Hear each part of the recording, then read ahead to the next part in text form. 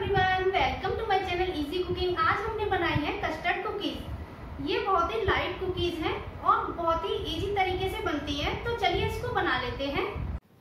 Custard cookies बनाने के लिए हम एक बड़े बाउल में ये आधा कप घी डालेंगे। ये मेरे मेरे पास मेल्टेड घी है। अब हम इसमें ऐड करेंगे आधा कप चीनी। फिर हम इसको मिक्स कर देंगे। फिर हम इसमें आधा कप चीनी और डालेंगे। ये टोटल एक कप चीनी है इसको हम बीट करेंगे इतना बीट करेंगे कि ये क्रीम जैसा दिखने लगे। ये देखिए मैंने इसको 10-15 मिनट तक बीट किया है।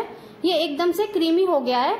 अब हम एक सिवर रखेंगे अपने बाउल पे और उसमें डालेंगे हम एक कटोरी मैदा और आधी कटोरी हम इसमें कस्टर्ड पाउडर डालेंगे और इसको अच्छे से छान लेंगे। ये मिक्स होते हुए छन जाएगा।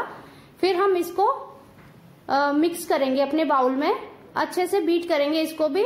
जब ये आटे की तरह दिखने लग जाएगा, फिर हम इसमें डालेंगे एक चम्मच मिल्क पाउडर मिल्क पाउडर से टेस्ट अच्छा आता है। अब हम इसको हाथों से अच्छे से मैश करेंगे और इसको बाइंड कर लेंगे। ये इस तरह से मैंने बाइंड करके एक सरफेस पे निकाल लिया है। अब हम इसको रोल करेंगे और अपनी कुकीज को काटेंगे। आप इसको कोई भी शेप दे सकते हैं। ये मैंने इसको, कुछ को राउंड दिया है, कुछ इसको मैंने स्क्वायर बनाया है।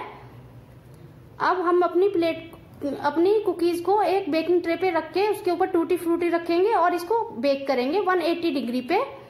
10 मिनट के लिए। ये देखिए, हमारी कुकीज बेक हो गई हैं और ये कितनी सुंदर लग रही है और कितनी लाइट बनी है। सो so व्यूअर्स अगर आपको मेरी रेसिपी पसंद आए तो मेरे चैनल को सब्सक्राइब करें। थैंक